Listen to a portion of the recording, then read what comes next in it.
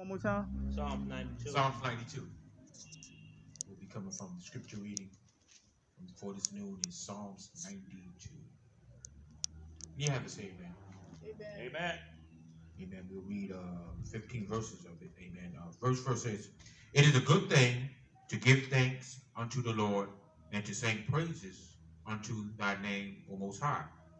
To show forth thy loving kindness in the morning and thy faithfulness every night. Upon an instrument of ten strings and upon a psaltery, upon a harp with a Solomon sound.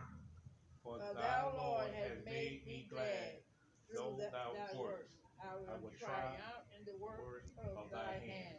O Lord, how great are thy works, and thy thoughts are very deep.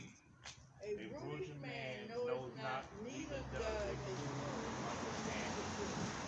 When the wicked spring as the grass, and when the workers of iniquity do flourish, it is that they shall be destroyed forever. Good thou, Lord, art most high forevermore. For lo, thy enemies, O Lord, for in thy enemies shall perish, all the workers of iniquity shall be scattered. But my horn shall thou exalt like the horn of a unicorn. I shall be anointed with fresh oil. Woo!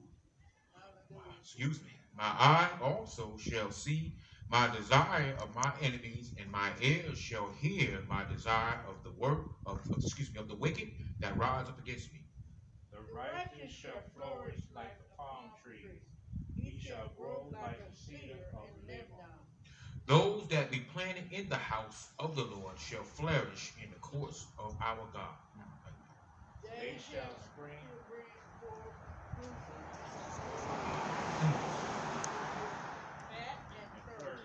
That's verse together. To show that the Lord is upright, he is my rock, and there is no unrighteousness in him. Judah, we're grateful for 15 verses of the Psalms 92. and Amen. Lord, bless me know the word. Beloved, you may be seated. That you may testify, tell the goodness of Christ we have. Amen. Praise the Lord before we go, amen, into our service. Amen. Remember, Pastor said we are in charge. Amen. Thank you, Jesus. To It's a good thing to give praises to the Lord. Yeah. Glory be to God. God is good. He's worthy of my praise. When I think about the goodness of Jesus and all that he has done for me, Yeah. My very soul cries out, hallelujah. And I thank and I praise God for saving me. We do honor the Lord this morning to our chief apostle, all the elders, ministers, everyone in your rightful place. We praise God for another opportunity to be in the land of the living one more time. We come him praise. It is a good thing to give praise. He has been good to me. Allowed me to yet wake up this morning, clothes in my right mind. And I come to bless his name and let him know that I love him, I adore him, I appreciate life. Once again, the Lord has smiled on me. Hallelujah! Glory to God. I come to praise him. I come to glorify him. I come to lift him up and give him praise and honor and glory. He has been good to me. Glory to God. And I can sum it up and say that the Lord is good. He has done great things whereof I'm glad to be in the land of living. I'm saved, sanctified, Holy Ghost filled, fire baptized, speaking in tongues as the Spirit of God give utterance. So we are grateful to be here. Y'all pray for me and I pray for you all in Jesus' name. Amen. Amen. God bless you, prophets. Amen. Nothing like that mother's morning voice. Get up, everybody. Woo! I love that. Praise the Lord in Jesus' name. Hallelujah. Can't nobody do me like Jesus. Can't nobody do me like the Lord. I know can't nobody do me like Jesus. He's my friend. I know can't nobody do me like Jesus. Can't nobody do me like the Lord. I know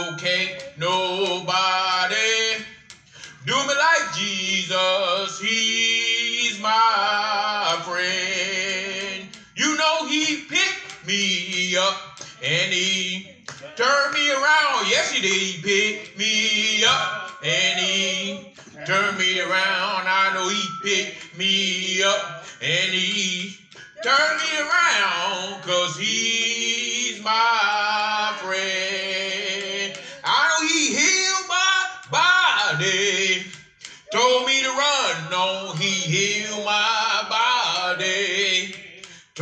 run, no, he healed my body. Told me to run, no, he's my friend. Amen. The church, say amen. Amen. True, that's a portion of my testimony. Can't nobody do me like Jesus, you know, because, you know, truly, you, you know that he's our friend, amen, praise the Lord. He's a friend that can get closer to the brother, amen, praise the Lord.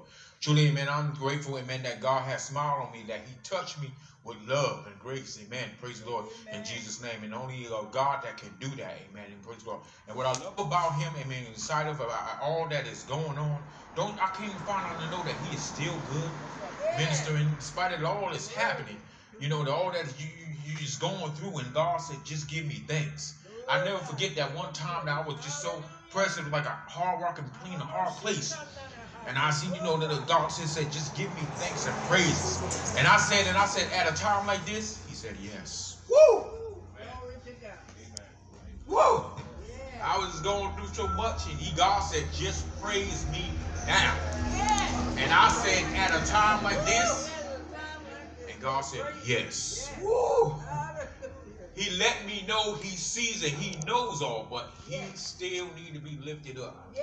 When you do that, it have already been taken care of what you're going through. Amen. And I came to find out, minister, you know what? And in doing that, you get light. Woo! Hallelujah. What was on you head down, it just doesn't went. Oh my God. You didn't even know you forgot all about it. You just go on and praise him. But Yeah. I'm so excited and grateful. Amen. Praise the Lord. We thank the Lord for this first Sunday. Amen. Praise the Lord. Pastor A's we in charge. And we thank God for our chief apostle, George T. Robinson Sr. in the midst of us. And you know, after all this week, saints beloved, you know what I've been thinking about? So many pastors and leaders have gone on. Yeah. Ever since after their anniversary, March 14th, Uh-huh. all certain shift just started to transition. Uh-huh. A lot of people we fellowship minister that, that, that found out a phone call gone. If there was a missus and their wives, their wife was right behind them gone.